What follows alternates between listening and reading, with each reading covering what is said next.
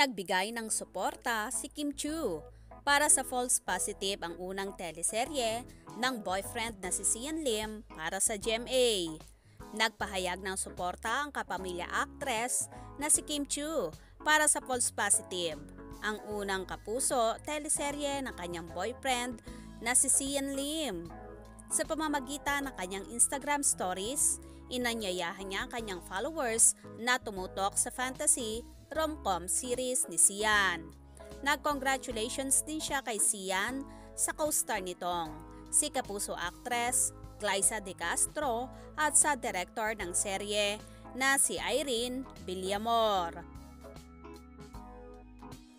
Sa false positive gaganap si Sian bilang Edward, workaholic na asawa ni Yani.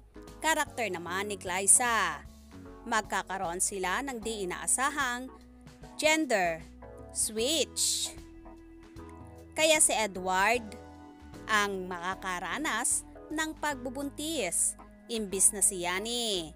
Sa isang interview, ibinahagi ni Sian at Glyza na very supportive ang kanilang real-life partners sa pagtatambal nila para sa Pulse Positive.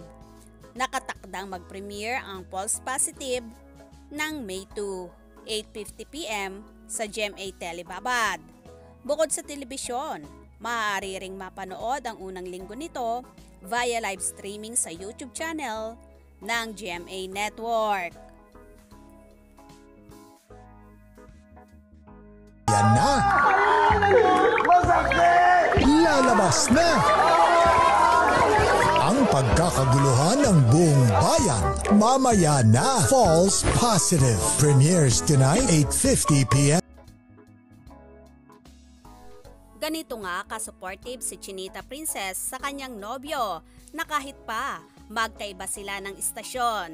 Sa bagay, sinabi naman noon ni Sian na hindi issue sa kanila ni Kimi ang pagkakaiba ng istasyon.